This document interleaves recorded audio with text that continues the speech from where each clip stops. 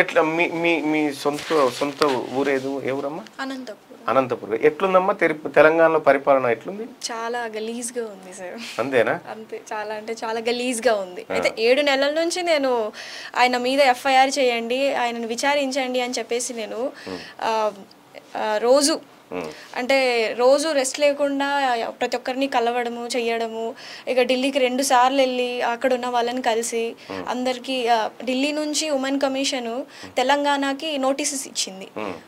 ఈ అమ్మాయి కేసు మీద వివరణ ఇవ్వాలి ఎఫ్ఐఆర్ చేసి అంటే రెండు నెలలు గడుస్తుంది సార్. ఇక్కడ ఉన్న పోలీసులు కానీ ప్రభుత్వం కానీ కేసు అసలు ఎఫ్ఐఆర్ఏ చేయకుండా ఇన్వెస్టిగేషన్ చేస్తున్నారు. మా వాళ్ళు ఫ్రెండ్లీ పోలీసింగ్ మా వాళ్ళు ఇడ ఇక నిన్న ఎవరు? నిజామాబాద్ ఆయన ఖమ్మం ఆయన.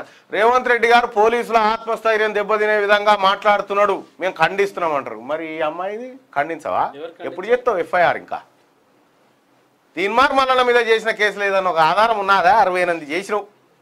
అరవై ఎనిమిది చేసుకో బొత్సు ఇంకేమైనా చేసుకో ఇంకా వెయ్యి చేసుకో నేను పట్టించుకోను కానీ ఆధారాలు ఇస్తే చేయవేందుకు మరి? పోలీసులకు ఒకటి తారీఖు నాడు జీతం రాకపోతే ఎటుపోయిందే నీ సంఘం మాట్లాడవు. జీతాలు ఎందుకు ఇస్తారు? కేసీఆర్ నీ తమాష ఏందని అడగకపోతే రేవంత్ రెడ్డి మాట్లాడినాగానే అగ్గి మీద గుగ్గిలం అవుతుండి చేస్తలేరా మీరు? ఎంతమంది పోలీసు ఎంతమంది పోలీసు లంగా పనులు చేస్తున్నారు? తెలియదా సమాజానికి? ఒకసారి పోలు పెట్టి అడుగుదామా? తెలంగాణ పరమ చెత్త పోలీస్ వ్యవస్థనా? మనది గొప్ప అడిగితే చెప్పరా?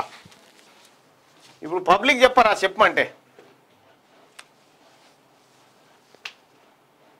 తెలంగాణ పోలీసులు ఎలాంటి పోలీసులు?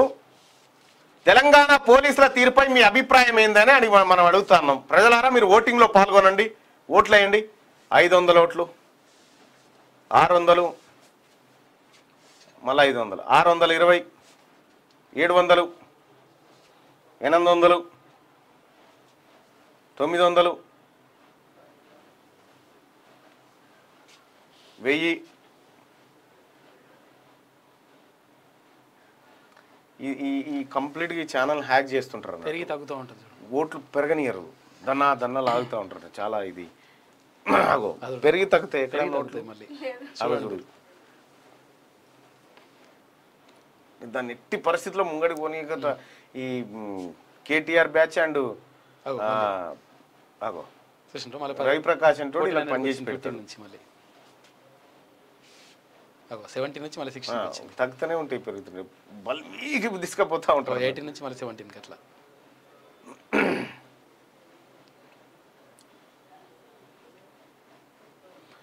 అయ్యా పోలీసులు పోలీస్ అధికారుల సంఘం నాయకులు ఒకటి తారీఖు జీతాలు లేకపోతే సప్పుడు చేయరుగా. ఎవరో అన్న మనోభావాలు ఏ జనం మనోభావాలతో మీకు పని లేదు గొప్ప తెలంగాణ పోలీసుల తీరుపై మీ అభిప్రాయం ఏంటంటే గొప్ప పోలీసులు అనుకుంటున్నా నేను. అలా చూసుకో. నూటికి తొంభై ఆరు శాతం మంది పరమ చెత్త పోలీసులు అని తిడుతున్నారు. పరమ చెత్త. అర్థం చేసుకోవాలి పరమ చెత్త పోలీసులు అని తిడతా ఉన్నారు. నూటికి తొంభై ఆరు శాతం మంది. ఇక మీ మనోభావాలు దెబ్బతింటుండొచ్చు ఇప్పుడు. జనం మనోభావాలు ఇవి. జనం మనోభావాలు ఇవి.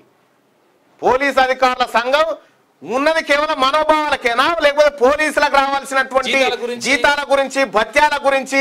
వాళ్ళ భవిష్యత్తు గురించి ఏమైనా ఉంటాయా వాళ్ళ సరెండర్స్ వస్తలేవు వాళ్ళ గురించి మాట్లాడరు. అవి మాట్లాడరు. ఇక చూడరాదు ఇంత ఇంత వన్ సైడ్ పోలింగ్ ఉంటుంది ఆయనన్న